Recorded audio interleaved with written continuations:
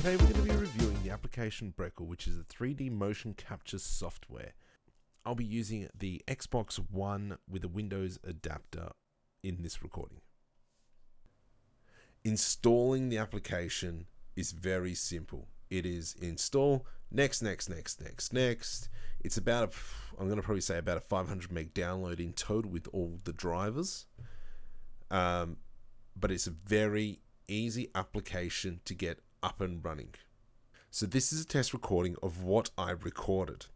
Um, as you can see, it pretty much just picks me up straight away. I'm there eating some prosciutto as I'm recording. Um, it's motion capturing my arms quite well. Um, I did notice, and you'll notice it a little bit later, is that my arms, oh sorry, my hands, are a bit too close to my body. And you'll see the FBX file goes in. But you can see that it's actually capturing me opening my hand. Um, the other thing that I've noticed is that on my foot, it's more capturing my top of my ankle to my foot and you'll see that in the FBX a little bit later that the feet are kind of on an angle. So it's probably because I didn't align the sensor to where the floor is. Um, that probably would have been handy when I did it, but oh well. But these are these options that are available in Brekel in the top right. So let's now move into Blender and let's quickly create a rig for this character. Now I'm going to use the Auto Rig Pro tool which I've already done a previous review on but if you need more information go check that one out. But for now let's just rig this character uh, and select get selected objects. We've got our character, let's zoom in a little bit, add a neck, chin, shoulders, wrist, root bone, ankles, go. And so now this is going to create all the bones. From here, we go into object mode, match to rig. And then from here, let's now select all our mesh. Dun, dun, dun, dun, dun, dun, dun. And last will be the rig. Go over to the skin tab. Let's quickly just go bind.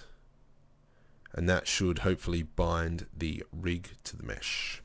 Hopefully. And hopefully I'm not full of lies. And hopefully it's going to work. And it's going to be all good. So that's now calculated and done all its binding and auto rigging. So let's just quickly see how we've got. So I'm just going to select the rig, go to pose mode.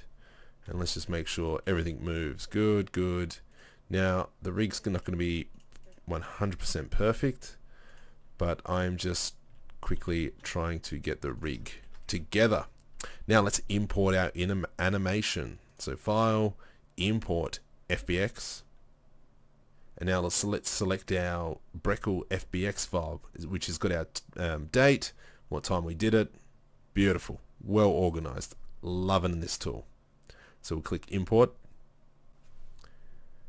And so at the back here, we've got our data, as you can see, moving around. Let me just increase the frames to a thousand and obviously that's the point where I'm eating some prosciutto.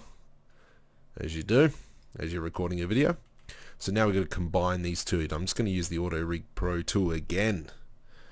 Let's go select the source. We're going to click on the remap. I'm going to select the source. I'm going to select the this rig target rig animation. What does it say? Free source clears dit sure Let's do that.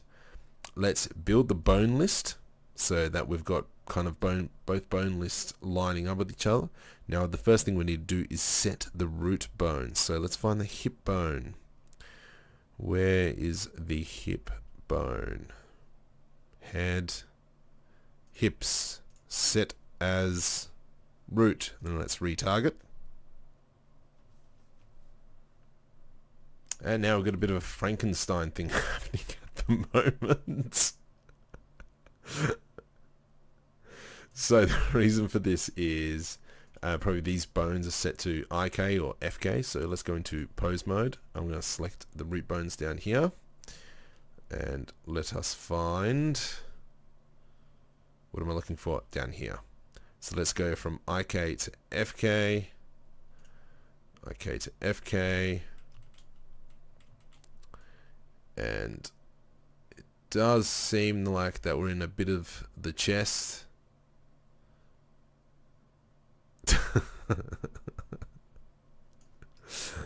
but as you can see, it's pretty good data. Um, yes, we have to edit it a little bit. Um, that is the limitations, but right now we've got the major concepts.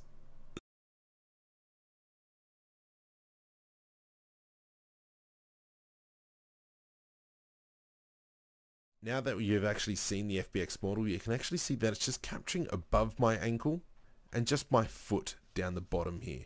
You can see that my hands are very close to the body. Um, and that's a mistake that I did and that I keep having to remember to learn. Up here in the top right hand corner you'll see the sensor auto align tool um, to put the floor down. But you can see overall it's captured my data quite well. I mean I have to go back and fix up the hands but big whoop. That saved me a lot of animation time. And so I'm very happy with how this application works and I very much look forward to using it into the future.